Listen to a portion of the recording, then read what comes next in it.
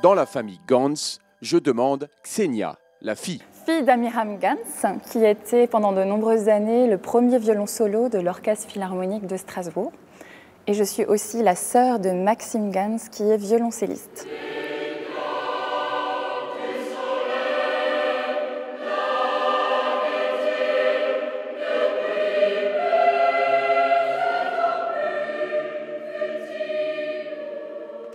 Ce soir, euh, j'ai l'honneur de chanter avec la maîtrise Sainte-Philomène à Haguenau, accompagnée par euh, l'orchestre de poche de la Philharmonie de Strasbourg et d'autres artistes lyriques qui m'accompagnent.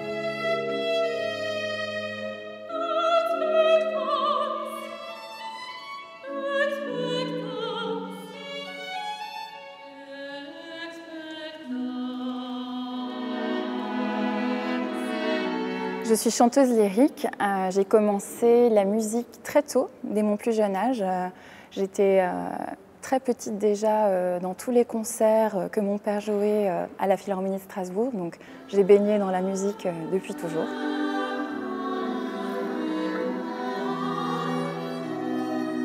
Et bien sûr, j'ai commencé à l'école de musique de Soufel-Weiersheim à apprendre un petit peu le solfège, on avait de la flûte à bec, tout ça.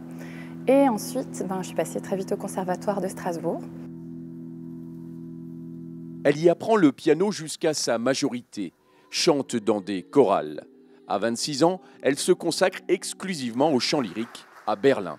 Elle travaille aux côtés de chanteurs, pianistes et metteurs en scène professionnels.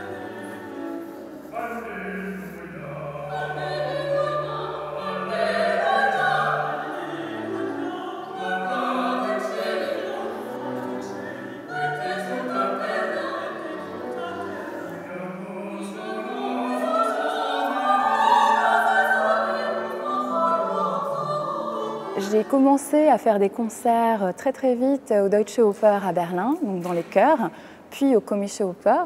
Ensuite, j'ai commencé à faire des petits solos à Hambourg. Puis ensuite, euh, ça s'est un petit peu élargi avec la musique de chambre et des solos avec l'orchestre d'harmonie de l'électricité de Strasbourg, de la musique sacrée aussi avec Nino Rota et un chœur d'enfants qui est euh, donc le chœur de la maîtrise Sainte-Philomène de Haguenau.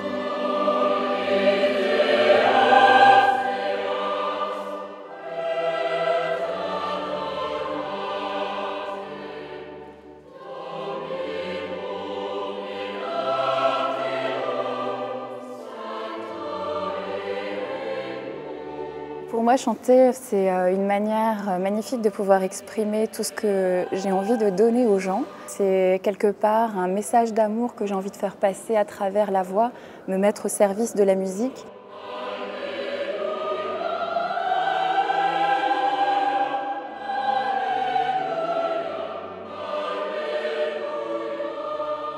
J'ai vraiment la chance de faire un très beau métier de pouvoir chanter des airs magnifiques euh, sur scène. Aujourd'hui, euh, je suis très heureuse de pouvoir en vivre et donner toute cette musique à tout le monde.